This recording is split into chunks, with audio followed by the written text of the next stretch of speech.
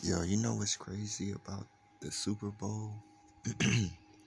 Somebody jumped over a whole man to tackle him. Are you kidding me?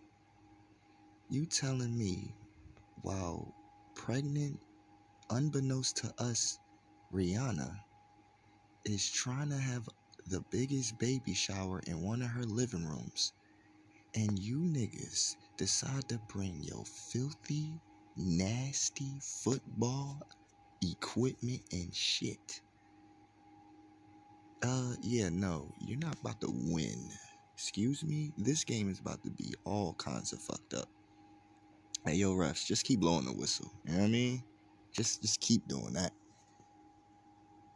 The audacity to think that they were going to play in her backyard while she was trying to have a sophisticated baby shower with music.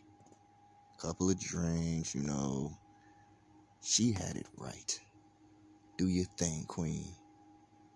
These dusty, disappointing ass motherfucking Eagles decided to take their ass to Rihanna's backyard and play a whole football game and lose by a whole touchdown and a field goal winning.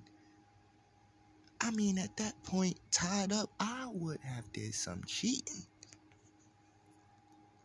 Especially if I know Rihanna about to send me an invoice for fucking up her backyard.